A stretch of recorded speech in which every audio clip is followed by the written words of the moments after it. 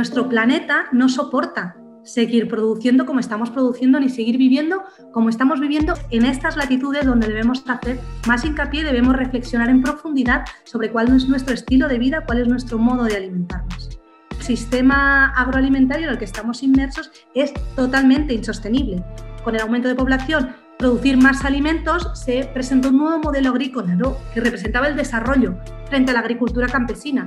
Pero este modelo nos ha llevado a unas cifras que ponen los pelos de punta.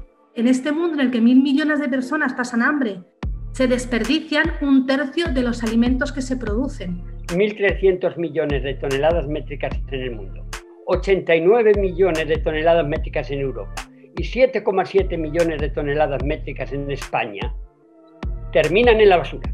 En España significa 169 kilos por habitante y año y el 30% de eso sin, en envases sin abrir porque ha caducado. Es nuestra responsabilidad. Pero es que además, para producir esos alimentos que no se va a comer nadie, estamos utilizando 1.400 millones de hectáreas, 28 veces la superficie de España. Estamos utilizando la cuarta parte del agua dulce del planeta estamos utilizando 300 millones de barriles de petróleo. Este sistema agrícola ineficiente e insostenible lanza a la atmósfera 11.000 millones de toneladas métricas de gases de efecto invernadero responsables de los cambios climáticos. Casi otro tercio de la producción mundial va como comida basura a nuestros estómagos. E, entonces, esto es irracional y hay que ponerle freno. El alimento que cuando yo era pequeño y se me cayó un trozo de pan al suelo, mi abuelita decía, Pepe, cógelo, bésalo y cómetelo, era sagrado, ha pasado a ser una pura mercancía que se produce no para alimentar, sino para vender. Y claro, nosotros tenemos la sensación que como vamos al supermercado y tenemos un montón de productos para elegir, tenemos esa libertad para elegir, pero si rascamos un poco, vemos que solamente seis cadenas en España controlan el 60% de los alimentos que se compran en los supermercados. Que además no se les ve la cara porque son multinacionales. Y todo eso ha llevado además a una tremenda uniformidad. Soluciones, las hay y muchas. Localizar la producción. No tiene sentido ir a comprar los alimentos que se producen a 4.000 kilómetros con el costo que eso lleva energético y posteriormente en preservantes. Comercio de cercanía, cadenas cortas, etc. Ahora todo tiene que ir a esa cadena grande, ya no te puedes hacer la matacía, que eso es un patrimonio eh, gastronómico y cultural impresionante, conservas por el botulismo. Cada vez nos dejan hacer menos cosas y cada vez encontramos que se va perdiendo eh, esa transmisión de cultura alimentaria porque ya no se lo enseñamos a los hijos. Y, si eso no lo recupera el, el, medio rural, el urbano no le va a llegar. La FAO ha declarado esta década como la década internacional de la agricultura familiar. Solamente el 25% de la población mundial está alimentada con las redes de la producción agroindustrial globalizada, pero el 75% de los recursos destinados a la producción de alimentos los gasta esta producción agroindustrial en el último siglo se ha perdido más del 75% de la biodiversidad cultivada. Ahí es donde tenemos una serie de variedades inteligentes, no como las que la Monsanto está llamando inteligentes. Estas son inteligentes, tienen la capacidad de la reluctancia, de adaptarse a las condiciones medioambientales y de necesidades humanas cambiantes y por tanto a los cambios climáticos. No por casualidad llevan ahí miles de años, 10.000 años de agricultura es más caro el producir de esta manera.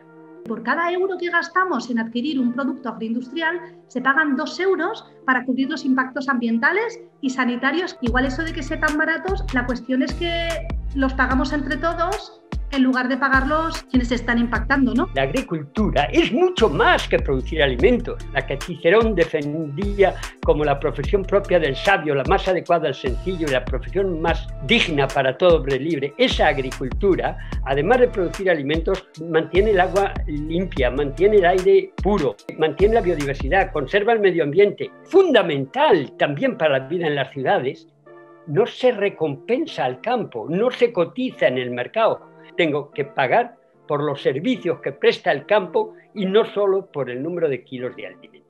Si somos capaces, por lo tanto, de acercar ecología y economía, hemos salvado el planeta. Esto no se está divulgando Y este mensaje es imprescindible para que el público en general pueda empujar a sus gobernantes, que están atados y muchas veces por el cuello por los grandes poderes económicos y no pueden actuar con libertad. No vamos a ir al supermercado a comprar aquello que no necesitamos. Decidir también dónde compramos, a lo mejor no es el supermercado. Consumir no es un acto inocuo, es un acto político. Y cuando yo voy a un lugar o a otro, estoy incentivando o desincentivando esos sistemas de producción. Porque ¿qué queremos nosotros? ¿Por quién queremos ser alimentados? ¿Queremos que nuestros alimentos estén en manos de grandes corporaciones que lo que buscan es el beneficio? ¿O apostamos por poner nuestra alimentación, lo más valioso que tenemos de nuestros hijos y de nuestras hijas, en manos de campesinas y de campesinos, de redes de producción familiar que lo que buscan es producir alimentos sanos, justos y sostenibles. Hay alternativas que están puestas en marcha y que pese a todas las dificultades están siguiendo adelante, que son esas alternativas que visitamos con Biela y Tierra, ¿no?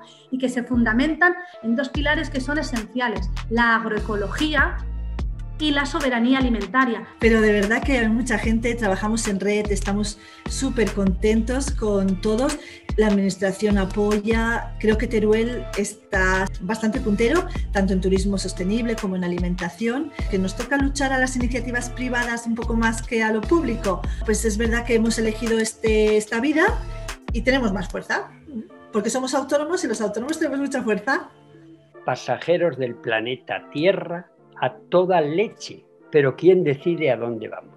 El mercado, está el dinero, está la ciencia y la tecnología, está la banca.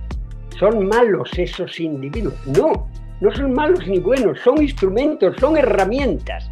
Con esta ciencia y esta tecnología tan extraordinaria que tenemos, si la ponemos al servicio del ser humano, podemos transformar la Tierra en un paraíso.